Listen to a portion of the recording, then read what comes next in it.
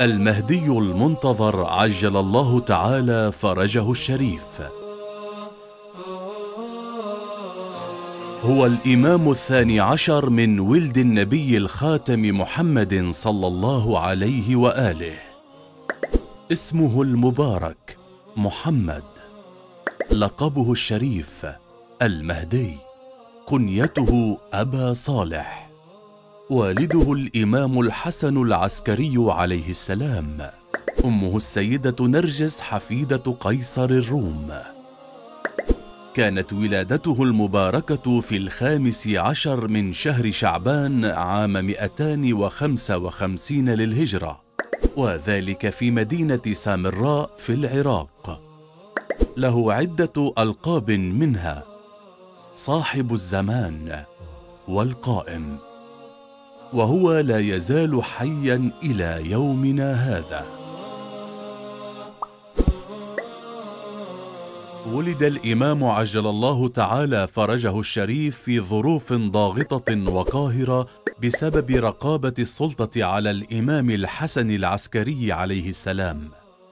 شاءت إرادة الله عز وجل في أن تكون ولادته إعجازية إذ لم تظهر آثار الحمل على والدته السيدة نرجس إلا في الليلة التي ولد فيها صلوات الله عليه. وبذلك خفي أمر ولادته إلا على جماعة قليلة من الموالين المخلصين.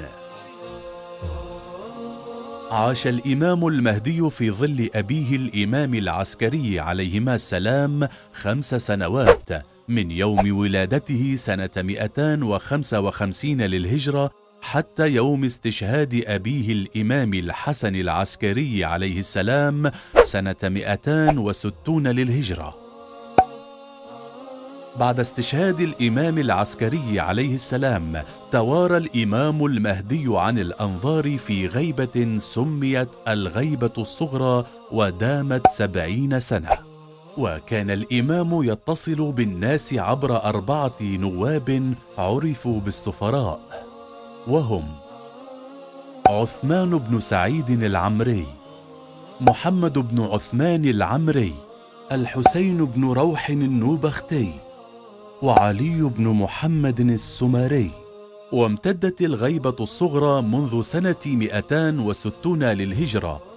حتى وفاة السفير الرابع سنة 329 للهجرة.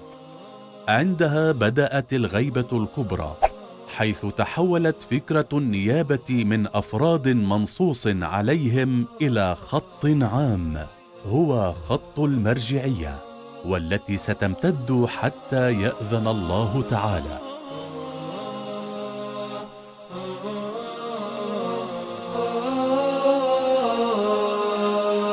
Oh.